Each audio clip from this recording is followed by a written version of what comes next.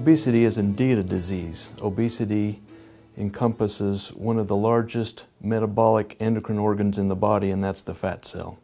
And the fat cell responds differently in different people. It responds differently to different medications and responds differently to the environment. It is very much a disease as diabetes, as high blood pressure, or as high cholesterol. We know that there are a number of different medical conditions that are intimately related to obesity, not the least of which is early death.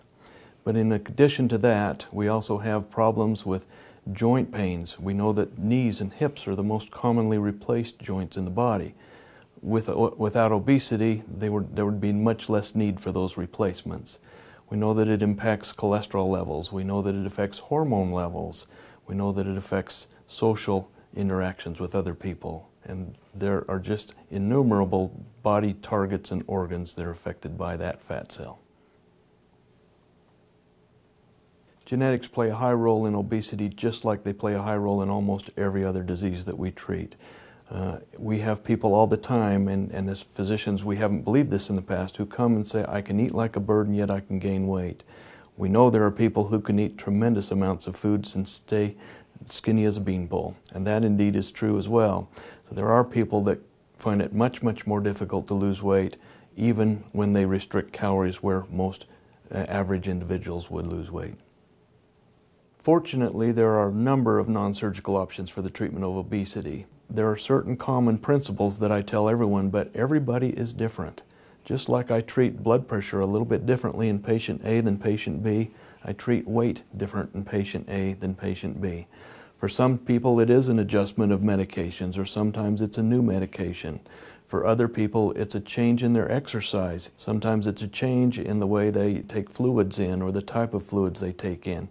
It usually always is a change in the food composition and the timing of their meals but not in a starvation sort of deprivation sense. It also uh, involves some social support, and as physicians, we ought to be very supportive of people. We ought to be enablers and encouragers. And quite frankly, there's a little bit of an accountability factor that when people are coming to see me, they figure they better do what we've discussed in the previous visit or they've wasted the visit with me and wasted both of our time. I'm now a member of the National Weight Control Registry, and that's a registry across the United States of over 9,000 people. To qualify for this registry, people have to lose at least 30 pounds or more and keep it off for at least a year or more. Anytime their 30 pounds comes back, they're off the registry. There are ways to lose weight. The average physician doesn't have very good success. The average physician is very fortunate if one out of 20 of his patients will lose 5% of their total body weight over a year or two year period. Now, for a 200 pound person, that's just 10 pounds of weight loss over two years. We consider that a dismal failure if that happens in our office. We want the people who have lost 30 pounds or more and been able to qualify for that National Weight Control Registry.